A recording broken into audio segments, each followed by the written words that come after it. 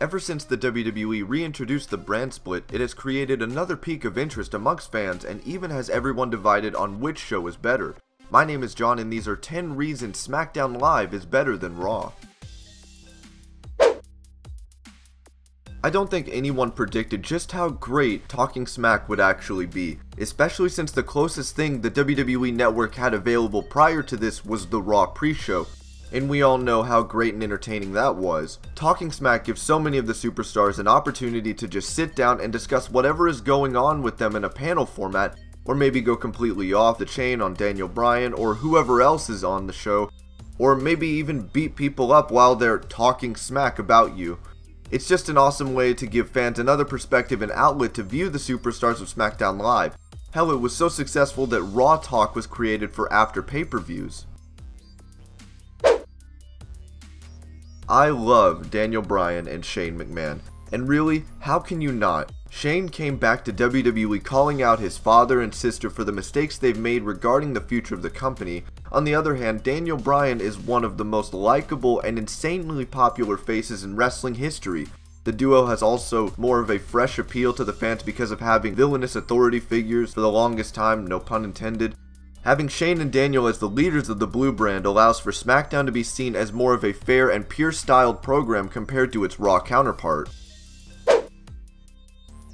After WWE uploaded that short clip to YouTube with Paul Heyman and JBL getting so angry over fans complaining about the show being too long, they claimed that it was necessary to keep it at that length because of the immense amount of talent they have and the boatloads of extra revenue they make in that third hour, but the issue at hand is that fans love that WWE are willing to put on a longer show, but they don't want to have to wait around and sit through every single match on Raw.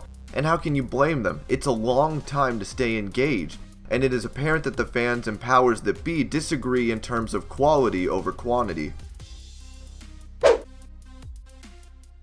Let me first start off by saying that I think the announced team on SmackDown is better than that of Raw, of course, it is nowhere near the god tier level of the trio announced team of Corey Graves, Mauro Ranallo, and Austin Aries, but SmackDown Live having the edge over Raw in terms of commentary can be attributed to Mauro Ranallo. When I first heard Mauro calling matches on SmackDown, it just blew my mind. I couldn't believe that I was finally once again listening to someone call almost every single move, and that he was yelling it with so much passion, it was just so refreshing and it makes sense as to why he's so good as he started commentating at the age of 16 and grew up watching professional wrestling. I really did not think this would be that big of a deal. I really just didn't think that having the WWE Championship on SmackDown would make the show any better, and that's only because it makes it better by comparison because the WWE Universal title makes Raw so much worse. Whenever the belt was first unveiled, the fans responded with degrading chants towards that fine piece of red leather, but I think the fans had the right to be a little upset. They were expecting a new belt design to show that maybe Raw doesn't need the WWE Championship, but they made a belt that just seemed like a knockoff version of the original. And the only place you're gonna see that prestigious title is on SmackDown Live. Hot damn, this is exciting!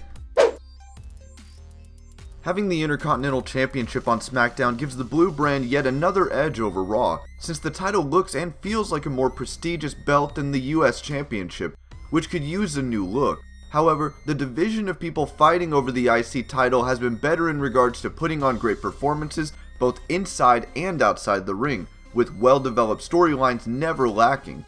Whereas the US title has been defended on Raw with the same two or three people every single time. I cannot seem to stress enough just how not having the authority is a great way to convince fans to watch your program.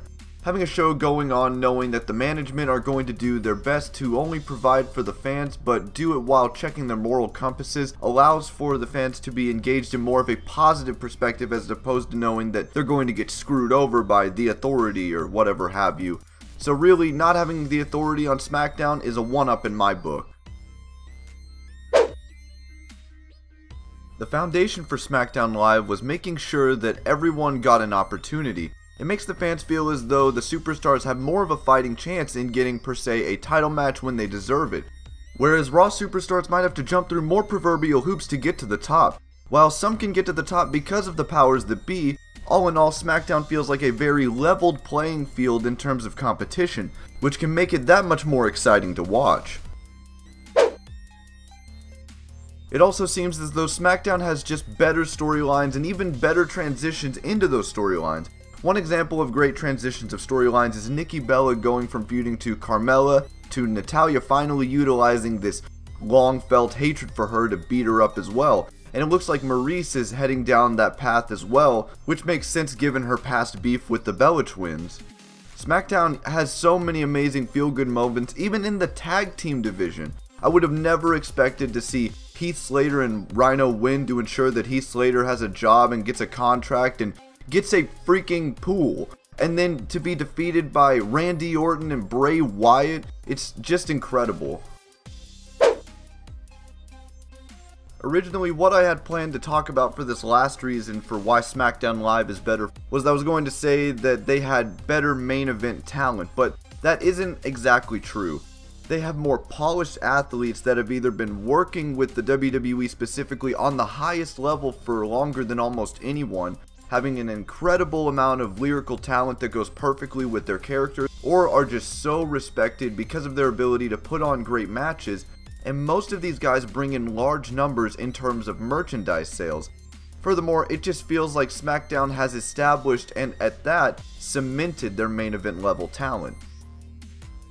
And these were 10 reasons SmackDown Live is better than Raw. I hope you're all having a great day, thank you so much for watching Wrestling Hub, and I'll see you later with more wrestling videos.